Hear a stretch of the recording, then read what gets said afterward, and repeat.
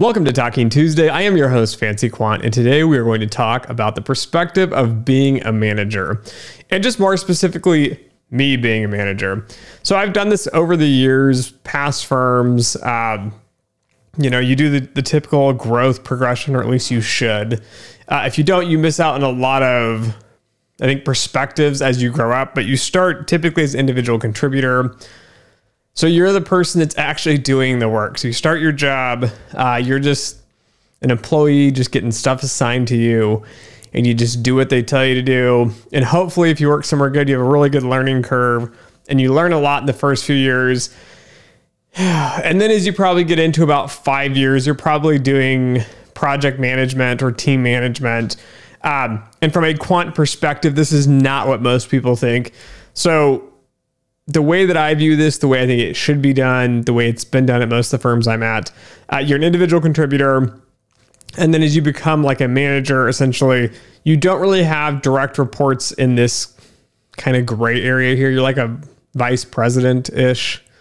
I don't know what you're going to call it in other terms, but um, you're going to be in a position where essentially you're running teams on projects. So originally you were working for someone on projects and just getting stuff done. Uh, now you have like a managing director who just gives you projects and you just need to complete them. And you're assigned typically one or two junior employees to help you with a lot of analytical work and a lot of the model development work here. So I think it's a good spot to be in in the sense that you actually have to still do the work. You don't get to just tell people what to do, which I think a lot of people think like, oh, as soon as I'm going to be a manager, I'm just going to tell people what to do. And that's not what's happening. You actually still have to do the work and you have to manage, which doing both of them is extremely challenging, but that's really what the job entails. Uh, people in those positions, again, should have that backing of like five years of actual hands on individual contributor work doing that exact task. So if you come from a different area and you're coming in, you probably should do it for a while before you get going in that kind of middle ground of doing management management. And then above that, you have more or less like team lead. So I was the director. So let me just lay out banking real quick for those of you that don't know. Uh, banking is typically analyst, associate, uh, junior vice president, vice president, senior vice president and you can argue perhaps once you get into like senior vice presidents where they fit um, but then typically you have like directors and like managing directors. So i was an associate director which was this weird gray area at the one firm. I was managing employees on projects. Uh, they would just offload entire things on me and then i would get a few resources which is employees. And um, you request specific ones that are better than others and you just manage projects and get the work done um, on that front. Then when I started managing actual teams on the director level, um, that was a little bit challenging, a little bit different now because now you're more in the planning mastermind phases of trying to get all the pieces in the right place, uh, make sure everybody's working, make sure things are getting done, and then you start worrying about more or less like employee health. So even now, I'm running an entire department trying to build a quant department um, at a fintech firm here. And it's similar to this in the sense that I'm still having to mastermind everything together, but now there is a lot more in the sense that I'm having to interact with all of the other departments outside of me. So I was doing this somewhat before when I was a director, in the fact that I would work with like the data quality and data governance team. I worked a lot with the model development team. Um, we would meet with business units that would need models validated or developed. And so I was spending quite a bit of time uh, on that side, kind of putting all the pieces together, writing really boring, tedious things like, you know, risk management policies, risk uh, procedures, uh, frameworks for validations, uh, work plans, um, documentation that you have to follow for validation procedures and all that, uh, employee training. And so it starts to get a little more dicey in the sense that now, when you had your true love of doing math and stats, it starts to slip away from you.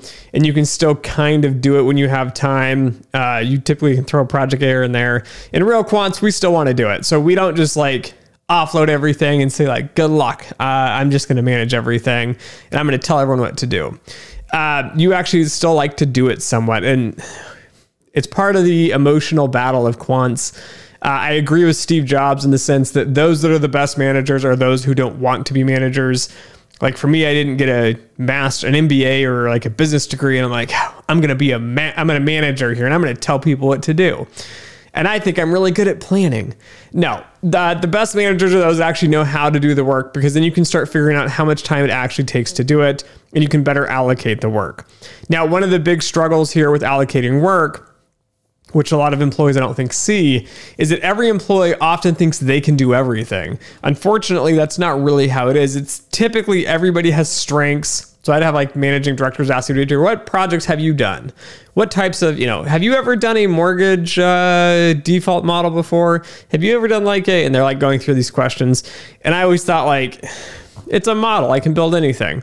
But when you get into the management levels, you realize a lot of times you don't have time to hands on manage each and every employee and train them.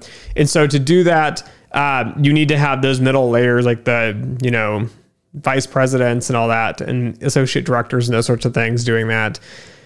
But you need to be able to match up the skill levels with the teams because it makes the projects go a lot smoother. You end up with a lot more quality work.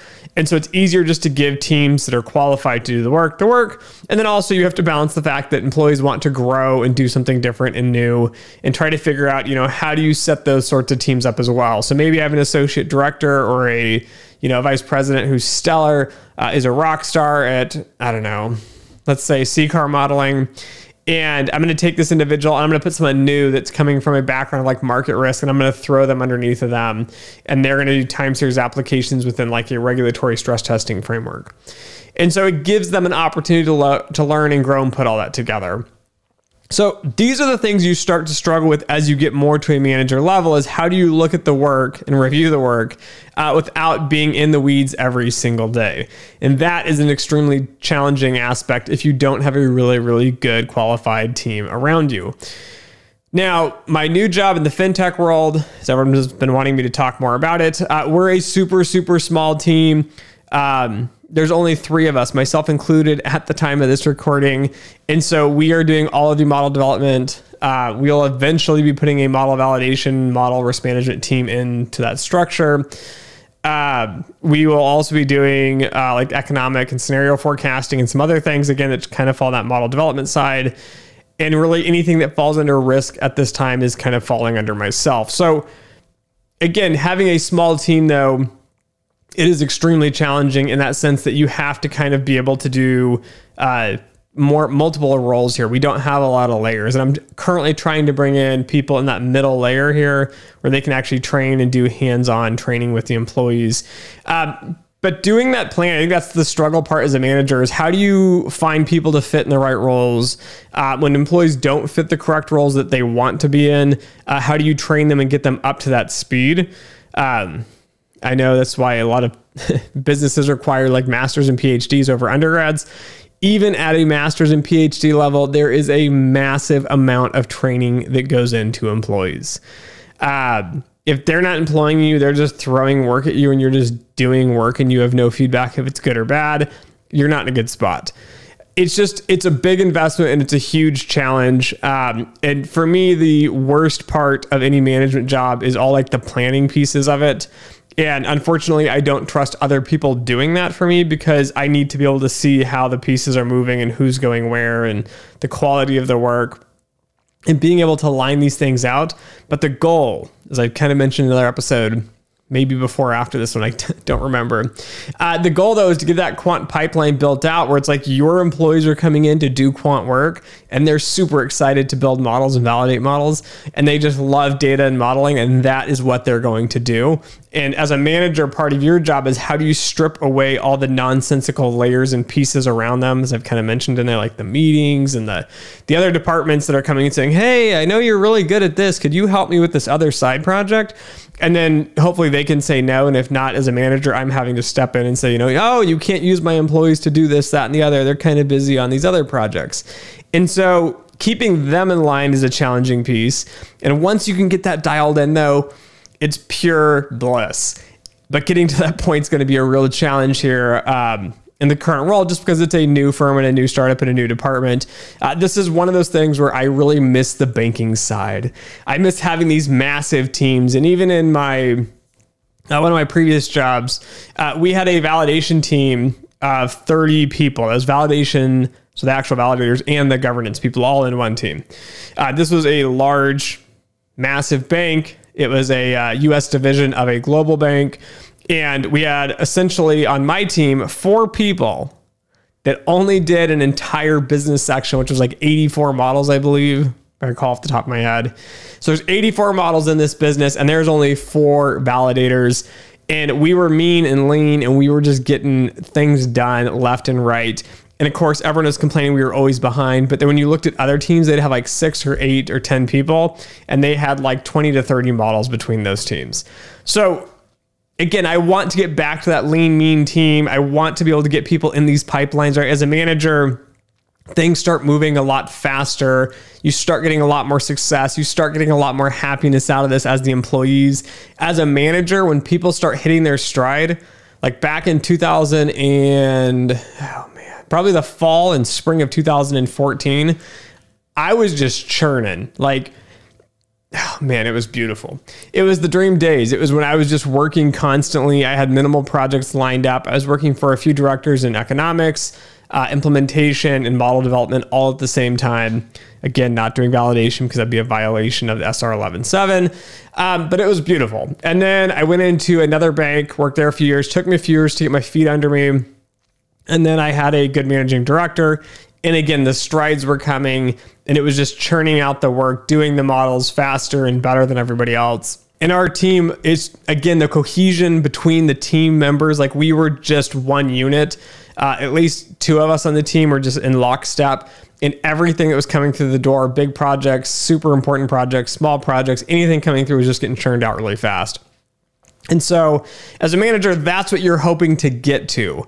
But how do you get there is a lot harder than, you know, just hire right people or just train them for a month. It takes a lot of effort on the cultural side of getting everyone to fit together correctly.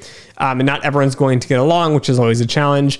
And then assigning the work correctly and the progress and making sure everybody's happy with what they're getting. And then again, putting all this together so that it's a nice functional process here. And my absolute favorite part here of being a manager, uh, basically everywhere I've worked, any project I've worked on, even at the bottom, is always education and training. I absolutely love it. Um, so I currently have a new hire that came straight out of the grad program, and we are building models together. And I'm acting like that VP layer where it's like they have a project uh, I assign them the task. They need to go just build this model. Uh, but I've, of course, broken it down up into the processes of how I go through the documentation and my workflow. And I say, okay, work on this piece first. And then they start working on that and they're running with it and they're excited and they're getting a lot of stuff done. And then, you know, they have all these questions or they give me feedback on this is what I did, this is what's coming out of it. And I'm looking at it and I'm like, okay, you know, I'm getting all excited in my head. I mean, they don't see this probably, but I'm like all jazzed up. And if, if I go down the whiteboard, like, you know, you're doing something right. Uh, but we have meetings, get togethers, and I'm in the office and I get on the whiteboard and I'm writing out like explaining, you know, populations and samples and distributions and why this is coming into here and how this data plays into this. And then you have these metrics that come off of this and they don't teach you this at school. And I'm getting really excited about the teaching part and I just absolutely love it. So this has been like the biggest win and reward here at the FinTech so far is the fact that I haven't just resorted to bringing in a bunch of experienced hires. Um, I've brought in so far one junior hire. I would like to bring in more. Um, again, I, I have a very, very specific individual that I want and need um, to come in at the senior level and help me do the training and help me get the processes done so I can spend more time probably on the not so fun parts. Um, but again, that training piece is just that's where I strive. Like I love it. I love being in the teaching position and I love it a lot more than doing YouTube in the sense that YouTube I can explain things sometimes but people can't ask questions which is why online learning sucks. And then also the other piece is like, I don't have a real problem I can give you on the internet. Like I can't say here's this awesome data and it's for a real company and we're building this model. And by the way, like you see how this thing isn't working correctly and you see how this doesn't work and you're like, you know, you're frustrated as the developer and I'm showing you cool things like this is why these exist and this is how you fix problems. I would love to be able to do those on the internet, but the problem is you can't because all those actual real world problems on real data sets, one, take a lot of time. So again, new employees a lot of times think they're going to build things really quickly, or those that transfer from other departments or, you know, other banks, institutions that aren't used to doing this very well. you should be on a problem for months because it takes at least a few months to really get into the nitty gritty details and the weeds on this and doing these teaching parts. But it has been a blast, guys. This is probably the most rewarding piece of the entire process is really twofold. One, if you can get a team up and you can get it running and processing and everything clicking along and you have results coming out the door. I am nowhere near that right now. Uh, and the other piece is just the intermediary piece of just being able to teach and build people's careers and help them kind of get going, which is what I just I love doing. It's why I like to go to university so much and talk to students and do presentations. Uh, I just love teaching. It's my absolute favorite thing. Um, one because I just nerd out and get real detailed about things, and then I find out people just don't know things, which I just assume you know, and then it just gets me all excited to explain and teach it. Uh, it's also great too to see these in the long run. So I've had some students I've worked with, again, not professionally, um, but those on the YouTube channel, and they've had just a lot of questions and it's like detailed and it's very to the point and they're intellectual questions and they're smart. And then i see these individuals and they graduate and they leave and they go into the industry. And then they're starting to get these really good jobs. And they're learning more and more and more. And then they write me a letter an email or a message on linkedin like dimitri i just wanted to thank you for helping me with you know my career and stuff. I'm here i'm doing this and they explain everything that's going on. And they thank me for my time for helping train them and teach them that is the most rewarding piece of everything out of the the podcast, the YouTube channel. It's really seeing like the impact of it, right? They're doing all the work. Just like when I have employees working for me, they're doing all the work.